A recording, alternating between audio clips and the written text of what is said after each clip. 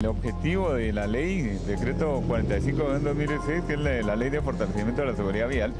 en su reglamento, el, el 38-2019, indica que deben, tanto transporte de carga como transporte colectivo, deben instalar un sistema limitador de velocidad, que ya hemos visto que una de las principales causas de los hechos viales son el incremento en las velocidades, conducción muy irresponsable por parte de algunos pilotos de transporte colectivo y los transportistas, algunos o muchos de ellos, que no ponen orden realmente para poder verificar que no pongan en riesgo estos pilotos que ellos contratan pues, a los usuarios de transporte colectivo. Hoy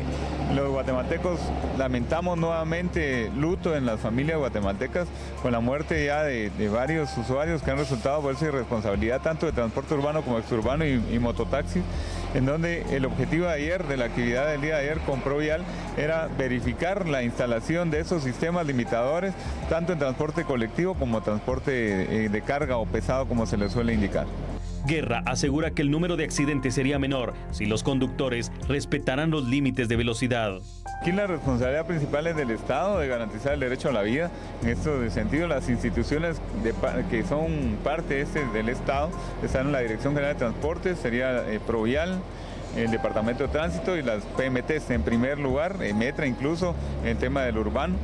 En este sentido sí se está eh, haciendo algunas acciones para que ellos reaccionen y puedan controlar realmente. Ellos son los entes rectores de tránsito y de transporte público en Guatemala y deben poner orden. Y los transportistas, importante también invertir en nuevas unidades de transporte, que realmente el parque vehicular de Guatemala en un 70% son ya vehículos eh, que son ya antiguos y requieren de, una, un cambio, una renovación. Y la otra situación no menos importante es que también se vence la fecha para poder poner o instalar ese sistema regulador o limitador de, velocidad, es el mes de noviembre.